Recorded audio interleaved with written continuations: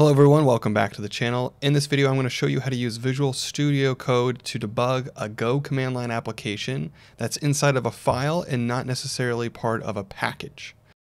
So what I have open here are some sample codes from a book that I'm reviewing and if we open up this one 0105 time zone flag function, it's um, a time zone converter command line application and I was running into an issue where I would be passing in the, the different time zones and it wasn't calculating properly and so I wanted to open the debugger. However, I didn't want to go in and create a mod init file and move everything around and so I figured out how I could debug this with just passing in command line arguments using the launch settings in Visual Studio Code.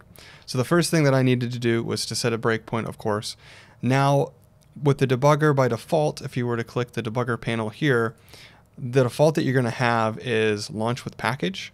But if you go to the settings, what you will want to do is to add a launch configuration for launch file.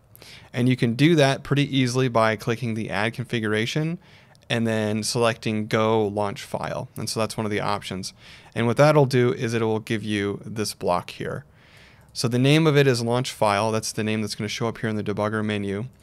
The type is going to be go the request will be launch, mode will be debug, and then the program is going to be the file that is currently open that you're going to hit function um, or F5 on to open the debugger or start debugging.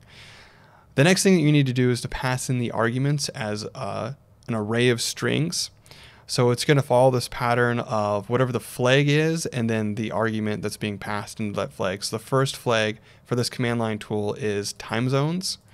And then the arguments here are the two different time zones. And so I'm passing in um, America, Los Angeles, comma, America, New York. And it's a comma separated list that is meant to be passed into the time zones. And then I'm switching to another flag, which is the target time. And so I'm passing in the syntax for the target time that I want to do the conversion for.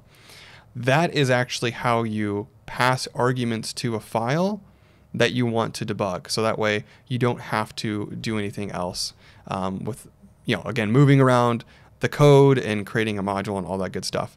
You also can't just type into the command line and run whatever the application is and passing arguments that way and set a breakpoint because they're disconnected. So if, um, well, to give you an example what that looks like, if I come here and I open up the terminal and I change into manuscripts examples chapter one, and I were to do go run and then I believe it's 01, 05 time zones and then pass in these values here and I see I've got a breakpoint here. Let me get the arguments that I want to pass in. We'll copy these, put them in double brackets, and then I want the target time to be this. And this is what I originally started to do. I tried to set the breakpoint and then use the terminal to trigger it. But you'll notice that I, you know, that doesn't work. It doesn't hit the breakpoint. So now that we have those arguments set inside of this file, I can now go to whatever file I want to debug, set the breakpoint, and then hit, uh, for me, it's function 5, but it'll probably be F5 for you if you have a full-size keyboard. That'll launch the debugger. And now I'm I'm into the debugger and I can see all the different times, the target time and all that good stuff. So if I step into here, it's going to load this local variable, which is where I was having issues. Um, and then I'll be able to jump around and use the debugger. So that's how you do it. If we go back to here, you need to specify this array of strings as the arguments that are being passed in and create a launch configuration for file to be able to debug Go applications as a file and not a package.